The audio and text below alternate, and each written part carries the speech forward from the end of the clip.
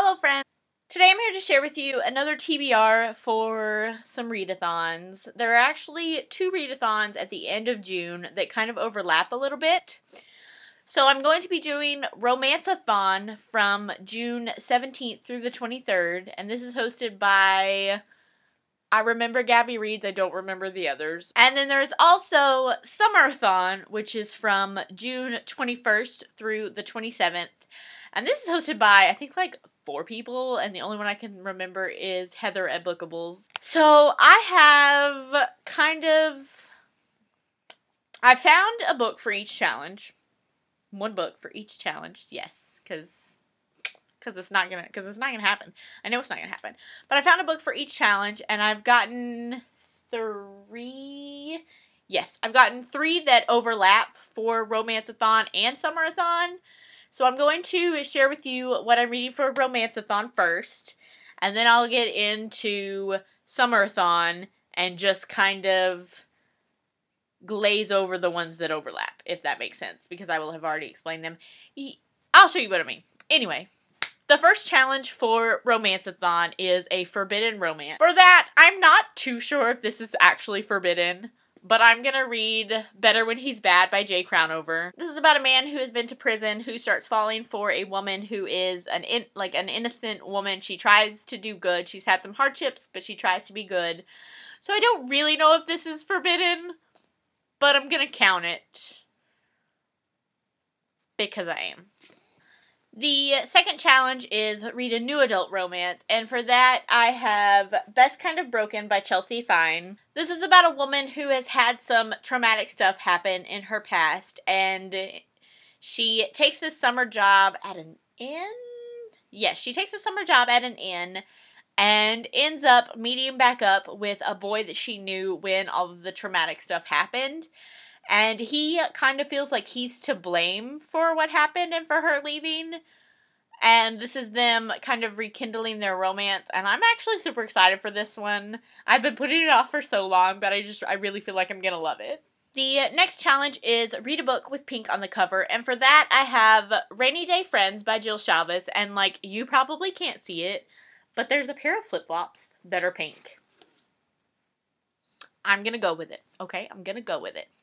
This is about a woman who, after her husband's death, learns that he had a complete other family that she knew nothing about. So she goes to, is it an inn again? A winery. She goes to a family run winery, and I'm assuming she's going to fall in love with one of the sons of the family. Challenge number four is read a book released in 2019, and I don't actually have that one yet. It's coming out on this Tuesday that I'm filming, and that is Fix Her Up by Tessa Bailey. I am so excited for this. I love home renovation shows, and I've read a couple of home renovation books that I really enjoyed, so I'm super excited about this one. Don't actually know much about it other than that yet. The fifth challenge is read a book with a man on the cover, and for that I'm going with Third Base by Hattie McLaughlin. I forgot to take that tag off. I wonder if I can take that tag off. Ooh. This is obviously about a baseball player who sees this girl at a game and must know her. And it's something about secrets and must prove to her that the rumors are just rumors. I don't know much about this. It's got a man on the cover. It's baseball. I like baseball. And I like baseball players. So, we're going to read it. The sixth challenge is to read an LGBT romance. And again, I'm going to try for red, white, and royal blue. I wasn't in the mood for it during Smutathon the first time I like put it on a TBR. So maybe I'll get to it in this one. This is um, everybody's heard about this book, but it's about the president of the United States' son and the Prince of Wales who have some type of thing happen or something and they're forced to be friends and then from their friendship comes more. And finally, the seventh challenge is to read seven romance books. So I have six already, five plus the one that's coming. I was like, why is there five plus the one that's coming. So I wanted to add in a seventh book, which I picked up from the other readathon challenges so it can be part of the overlapping. and that is Turn and Burn by Lorelei James, part of her Blacktop Cowboy series. This is about Tana, who is was the friend of one of the other books that I read. She is a barrel racer on the rodeo circuit, and I believe she gets injured, and so she's not actually from the town where all these books are set in, but she gets injured and comes to stay with her friend who owns a ranch there now and she meets Fletch, who has been the veterinarian in almost every book so far, and I'm so excited he finally gets a story. I am so excited to read this one. I'm gonna love it so much. I know it.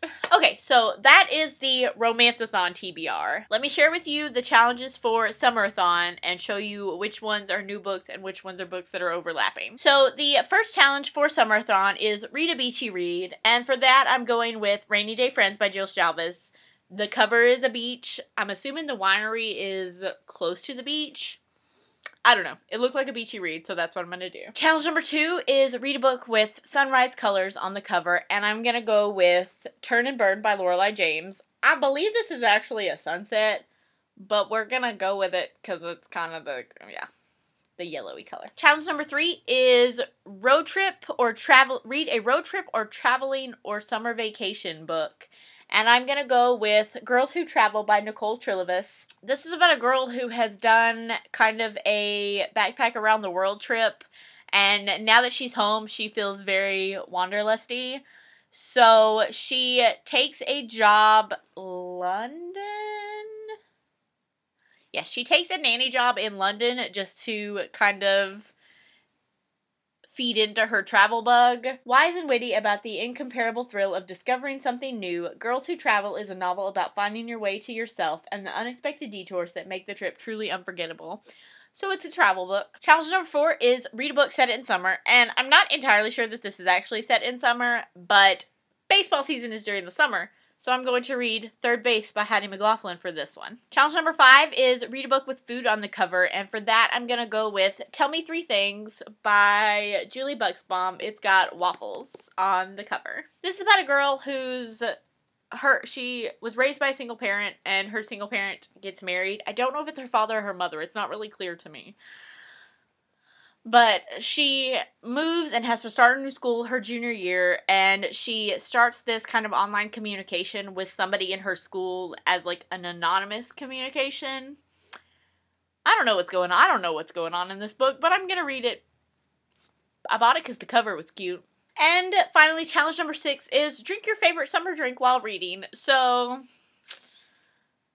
probably gonna go get myself a cherry limeade from Sonic at some point during the week.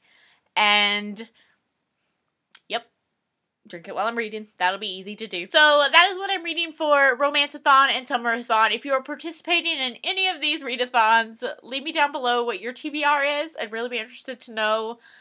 Because as I learned from Smutathon, sometimes I'm just not in the mood for what I say I'm going to read. So that's what my plan is for now. I hope you guys enjoyed this video. Thank you so much for watching, and I'll see you guys next time. Bye!